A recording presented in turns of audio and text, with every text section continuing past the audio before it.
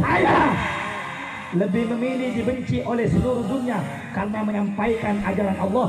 Mabuk haram, berjudi haram, narkoba haram, satu ayam haram. Daripada saya dicintai oleh seluruh penduduk dunia, tapi saya menyembunyikan kebenaran. Habib nanti dibunuh kamu. Dia hadang kamu nanti nyinggung-nyinggung sabung kamu. Saya lebih memilih mati menegakkan syariat Allah.